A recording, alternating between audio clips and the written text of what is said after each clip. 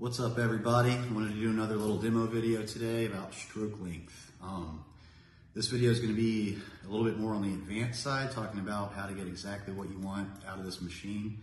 If you don't understand the whole audio systems, definitely go check out some of my older videos. Ink Weasel, on. Your stroke length and hit is a combination of two things, your volume and your frequency. If I want to get the same stroke out of two different speeds, I would adjust the volume to compensate.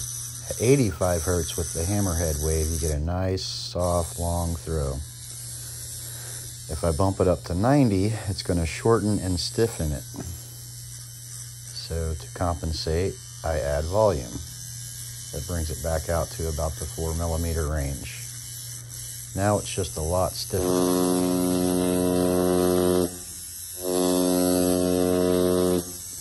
Now, as I run through all the settings, hopefully you can hear the difference.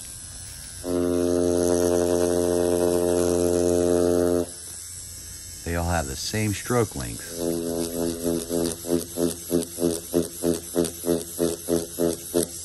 But hit very different. So in general, if you wanted a softer machine, you would run low to mid 80s. If you wanted a harder hitting machine, you would run mid 80s to lower 90s. This is also affected by whatever wave you're using and obviously your volume. It's really a good idea to spend a few hours with this machine when you first get it and really get to know the different waves, the different frequencies, and spend some time figuring out how to get what you want.